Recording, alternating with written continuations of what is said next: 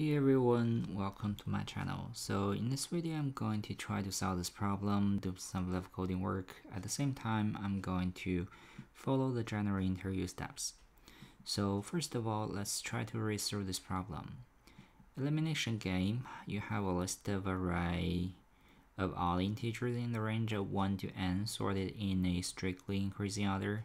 So apply the following algorithm on array. Starting from first step is starting from left to right. Remove the first number and every other number afterwards until you reach the end of the list. Second step is we repeat the previous step again, but this time from right to left. And then the third step is we just keep repeating the steps uh, again, alternatively left to right and then right to left until we have just a single number left there. So given an integer n, return the last number that remains in the array. So for example, let's say n is equal to 9, then we are going to output 6. So the constraint says n is anywhere between 1 to a billion. So let's see how to solve this problem. So how to solve this problem? Um, one brute force solution I can think of is we could just try to mimic the the process is like which, which when I say try to mimic the process is something like we have the real integer array and then we just keep eliminating eliminating the numbers from the array. Or you can actually have like a, a boolean array uh, try to mark the number we are going to eliminate as false. Uh, then we are finally we do one pass and find a single number left there but anyway, for this force solution, it is going to be ON, uh, which is going to be a linear solution, so not really efficient. So the next thing that comes to my mind is um, what we could do is we don't really need to actually, when we try to mimic the process, we don't really need to actually delete the number from the array or mark the number within the array as deleted but instead, what we could do is we just uh, keep uh, two variables. One is how many numbers left there.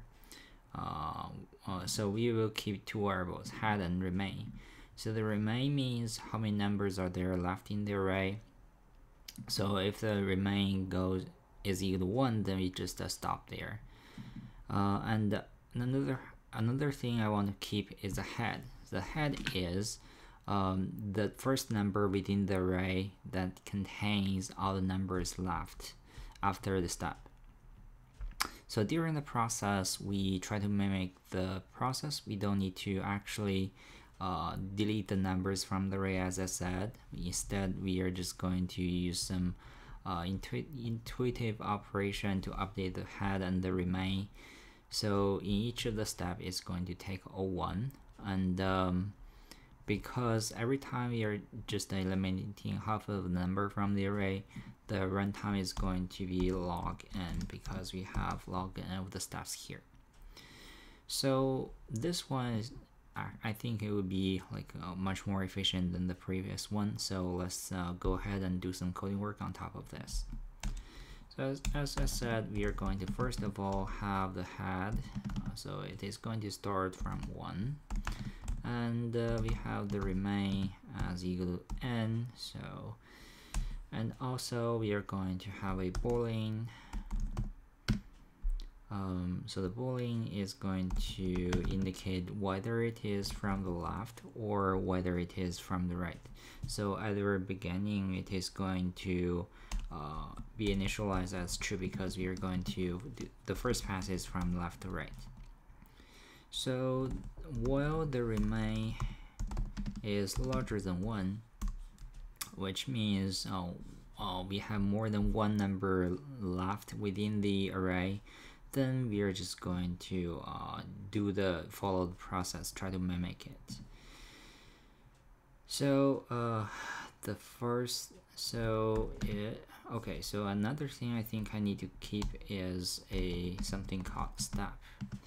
So I'll explain the step later on. So if we are starting from the left, for sure we are going to move our head. So, and uh, also, if the numbers remain, the remaining number, if we have even number, uh, even numbers remaining, then we don't really need to uh, delete uh, the first number from the array.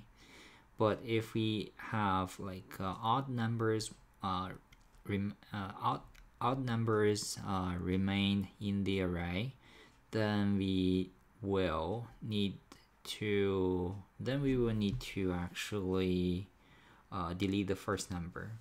So it's something like if left is uh, so if left if we start from the left or if uh, it is not left but uh, it is remain uh, uh modular 2 as equal to 1 then what we need to do is we need to go ahead and to add step on top of uh, head so why do we have the step? The, that is because for each of the paths, we are not like uh, skip the equal, num equal numbers. So for example, let's say for the first step, you're going to skip one number, but for the second, um, so when I say skipping from skipping one number is something like we just skip one here.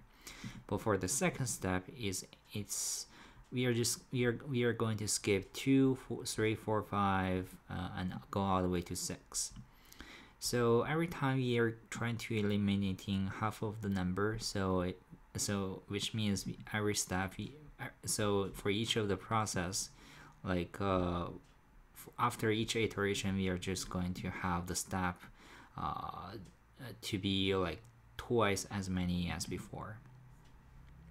So like for the first one, step is equal to one. For the second, uh, for the second process, step is equal to two. For the third process, step is equal to four, so on and so forth. So um, this is about updating the step. After that, you're going to have remain uh, divided equal to two, and then step times equal to two as well.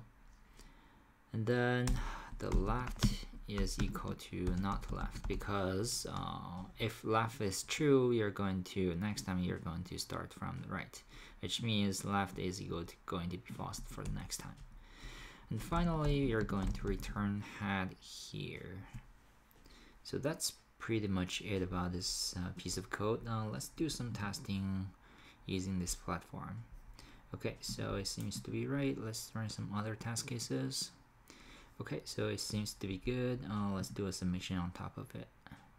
Cool. So everything works well and uh, that's it for the solution and uh, the piece of code. If you have any question regarding the solution, feel free to leave some comments below. If you like this video, please help subscribe to this channel. I'll see you next time. Thanks for watching.